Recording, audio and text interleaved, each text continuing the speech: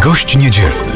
W najnowszym Gościu Niedzielnym teologiczne wyjaśnienie, jak rozumieć i jak traktować modlitwę księdza Dolindo. Jezu, Ty się tym zajmij. A także rozmowa z księdzem Tomaszem Chorakiem o tym, jak przeżywać bolesne problemy dotykające dziś Kościół. Oraz reportaż z jednego z najpopularniejszych miejsc pielgrzymkowych na Litwie, jakim jest Góra Krzyży w Szewlach.